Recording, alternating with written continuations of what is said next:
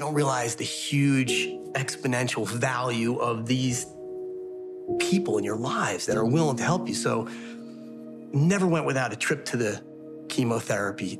Never had, I always had somebody in my hospital room unless I told them to get out.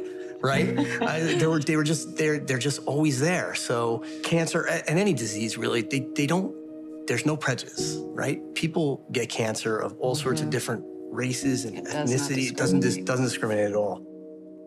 I was just like everybody else. We were all in an infusion or a chemotherapy chair, and you're in a room. And I have a tendency to talk a lot. And if everybody was quiet, I'd poke the quiet person and talk to them and find out about their story and want to know what was going on.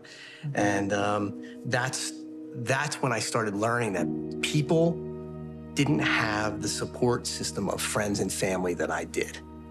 They didn't have people to help them with these just these little tasks that or that I thought were little.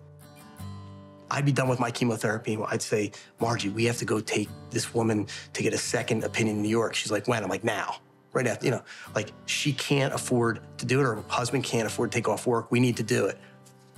And so I said, if I was going to do this, we need to do it on a much bigger scale. I can't do it all myself, especially right now, even though I want to.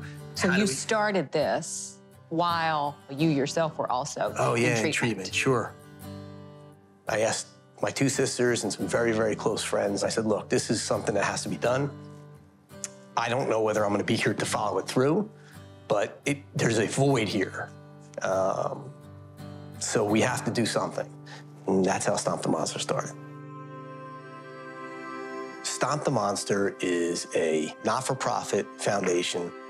We take families that are going through this process and help them with utilities, a ride to and from treatment.